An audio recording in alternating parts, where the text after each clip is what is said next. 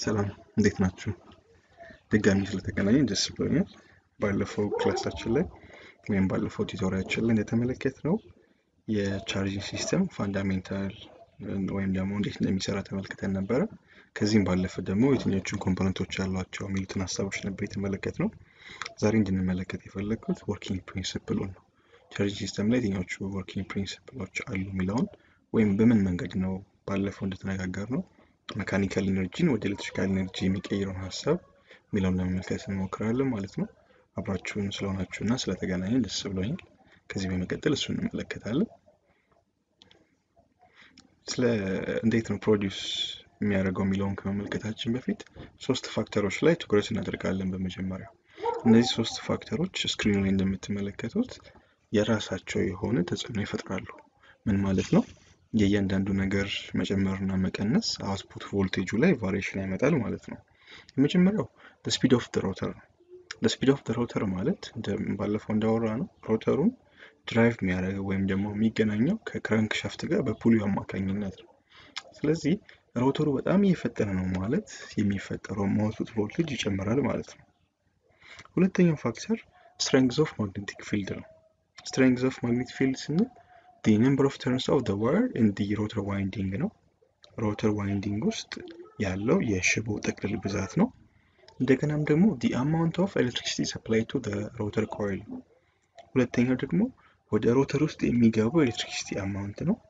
ሶስተኛው factor ደግሞ the resistance or the air gap between the rotor poles and stator በስቴተሩ እና ይቅርታ በሮተሩ እና በስቴተሩ መካከል ያለው ጋፕ የሚፈጠረው magnetic field እንዲጨምረው እንዲቀንስ ያደርጋል ማለት ነው።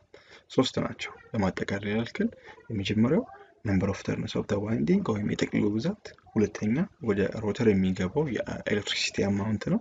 ሶስተኛ ደግሞ በሁለቱ መካከል ያለው air gap or resistance ነው ማለት ነው።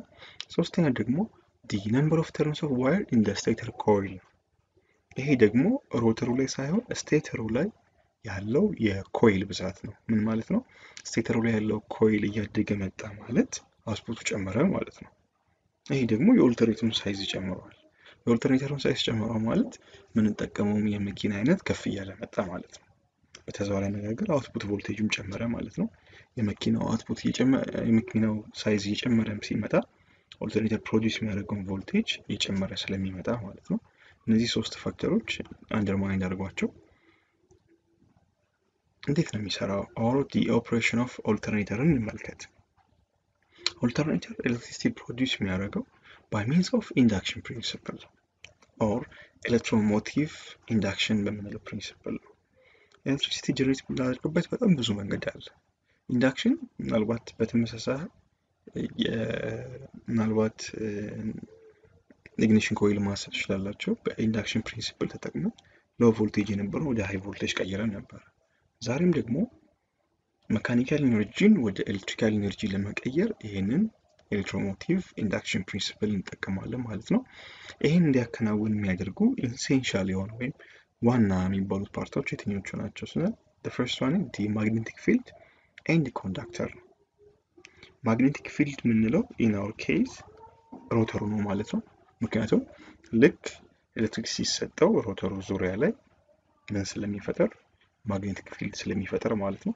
conductor የምንለው ደግሞ stator ኡ ማለት ነው። ልክ ውስጡ movement በሚፈጠር ወይም እንቅስቃሴ በሚፈጥርበት ሰዓት ላይ ያንን magnetic field cut ነው የሚያደርግ ወይም ያቋርጥበታል ማለት ነው። ስለዚህ እሱን conductor እንለዋለን። magnetic field የምንለው rotor ነው። conductor ብለን የምንጠራው ደግሞ stator እንደሆነ ማሰብ እንችላለን ማለት ነው። so when the conductors move the magnetic field conductor ኡ በ magnetic field ውስጥ በሚያልፍበት ሰዓት ላይ electromotive force is created in conductor ይላል ማለት ነው። ልክ rotor ኡ magnetic field አግኝቶ መዞር ሲጀምር conductor ኡ ላይ ወይም stator ኡ ላይ output voltage ይወጣል ማለት ነው። በዚህ principle ነው የሚሰራው። እንዴት ነው የሚለውን ውስጥ በምስል እንመልከተው። እዚህ ስዕሉ ላይ እንደምንመለከተው የመጀመሪያው እዚህ ጋር እንደምትመለከቱት input current ነው። input current የሚያልፍበት እዚህ ጋር ሁለት spring አለ ማለት ነው። slip ring አለ፣ ይቅርታ። እነዚህ ሁለት slip ring ኦች ላይ positive እና negative ይገባል። ያው circuit ኡን closed ለማድረግ ወይም ደግሞ closed loop ለመፍጠር ማለት ነው። አንደኛው positive አንደኛው negative ነው ማለት እንችላለን። ልክ በዚህ በ input current ውስጥ የገባውን ስትመለከቱት ቀጥታ የሚገባው rotor coil ውስጥ ነው። ልክ rotor coil ውስጥ ሲገባ rotor coil ውስጥ electromagnet ይፈጠራል ማለት ነው። electromagnet ማለት አንድ coil ወይም ደግሞ አንድ electrical winding ኤሌክትሪክ በሚያገኝበት ሰዓት ላይ ማግኔት ዙሪያው መፈጠር ይችላል። ይሄ electromagnet እንለዋለን። ማግኔት የሚፈጠርበት ከሁለት አይነት mechanism ኦች ውስጥ አንደኛው ይሄ ነው። አንደኛው ደግሞ naturally or without any artificial additives በራሱ ማግኔት መሆን የሚችል ወይም ደግሞ ማግኔት ብለን የምንጠራው ነው። ይሄኛው ግን electromagnet ነው። የማግኔት characteristics እንዲኖረው ሲባል ኤሌክትሪክ supply ያስፈልገዋል ማለት ነው።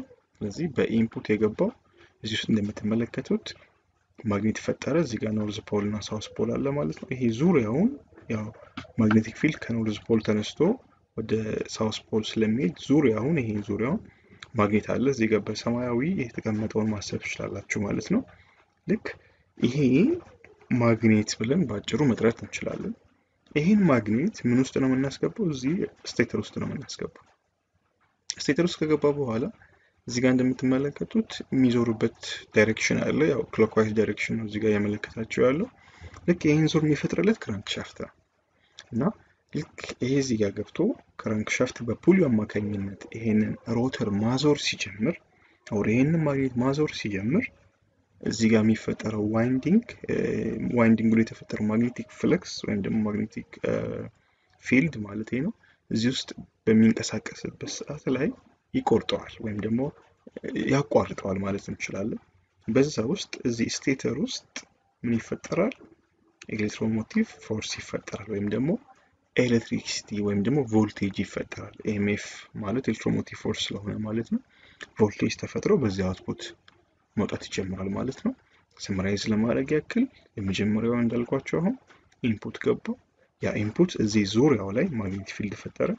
ያ magnetic field እዚህ ውስጥ ገብቶ መሽከርከር በሚጀምርበት ሰዓት ላይ conductor ውስጥ electricity ይፈጠራል ወይም ደግሞ electromotive force ይፈጠራል ማለት ነው።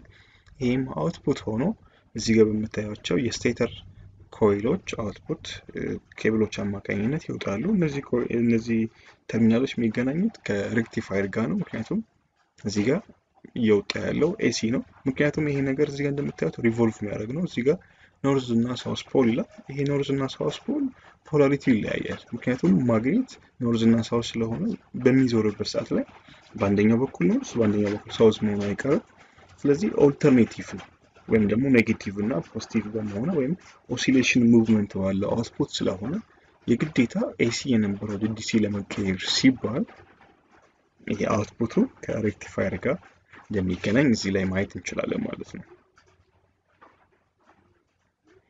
አመሰግናለሁ። የ working principle ኡ part ስለተከታተላችሁኝ ደስ ብሎኛል።